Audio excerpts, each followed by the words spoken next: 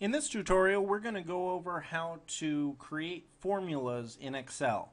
And these are some very basic mathematical formulas. However, uh, this can be kind of your quick reference guide for how to create these. We have three different variables to start out with that we can pull from. We have uh, baseballs, of a count of 350 of them. We have eight teams, and we have 90 players.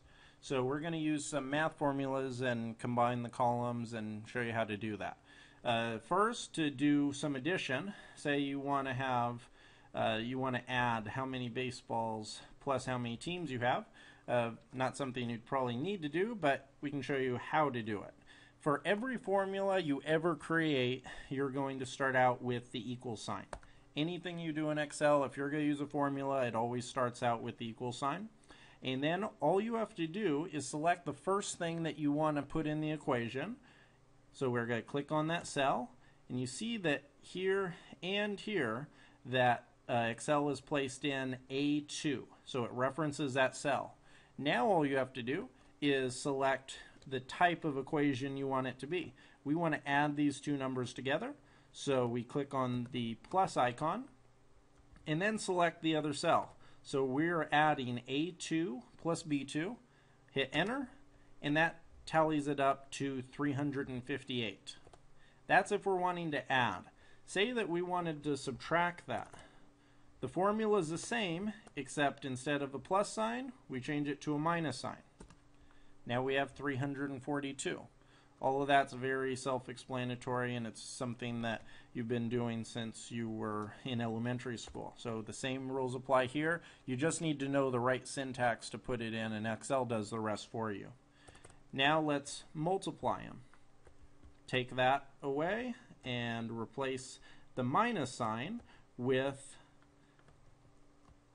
the asterisk. The asterisk is what you're going to do if you want to multiply something. So we're multiplying 350 baseballs by 8 teams, and we have 2,800.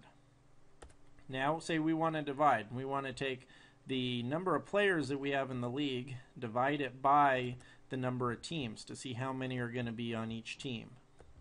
So we'll delete all of that, select players, which is C2, and to divide it, it's just the slash, and click on the other cell, B2, and we can see here that we're going to have 11.25 players on each team. And in other formulas that I show in other tutorials, I can show how to round those or even how to get a remainder, and that's what we would need in this one. Uh, but for this, we're just going to be using these four formulas and also the last one, which is the operand formula. The operand formula is the little hat that is above the 6. To get it, you click Shift and 6, and that's going to give you the first number by the power of the second number. So in this case, it's going to do 90 to the power of 8, which we can see takes to a very, very large number. And so uh, this is if you're going to do anything to the power of, you use that operand symbol. And for formulas, that's all you need to know in Excel. From there, you can just build upon those and also use them to uh, create dynamic functions uh, and results in all of your spreadsheets.